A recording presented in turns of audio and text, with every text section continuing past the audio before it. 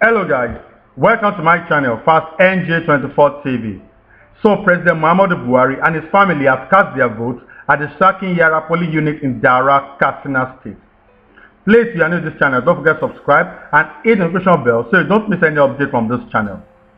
But during the voting, the president opened his ballot paper for everyone to see. And this action has been attracting diverse reactions from Nigeria as many have accused the president of violating the electoral law. As you already know, Nigeria practices the secret ballot system. The secret ballot means that votes are cast in secret. The essence of the secret ballot is so that other voters can cast their vote without influence and intimidation.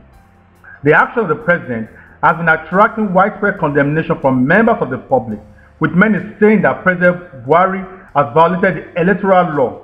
But some people said that they believe the president showed his ballot paper to prove that his support is with the All Progressive Congress presidential candidate Bola Ahmed Asiwaju Tinubu. However, the Independent National Electoral Commission (INEC) is yet to make an official statement with this act from the president.